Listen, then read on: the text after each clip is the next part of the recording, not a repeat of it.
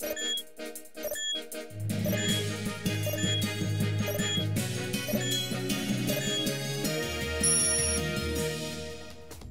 La embajadora de la Unión Europea en México, Mary Ann Konix, manifestó ante universitarios y académicos de la UDG que el euro no está en crisis ni tampoco la Unión Europea, ante voces que señalan que se desintegrará la agrupación de países europeos que utilizan la misma moneda y tienen libertad de fronteras. Reconoció que la deuda de países como Grecia, Italia y España ha provocado la crisis económica en Europa, pero no el euro como moneda. Señaló que la fortaleza del euro es lo que ha permitido amortiguar la turbulencia financiera. La diplomática aseguró en su conferencia titulada La nueva Europa, presente y futuro de su integración, que la relación entre México y la Unión Europea es sólida y México representa uno de los socios fuertes y de los aliados estratégicos del grupo de países del viejo continente.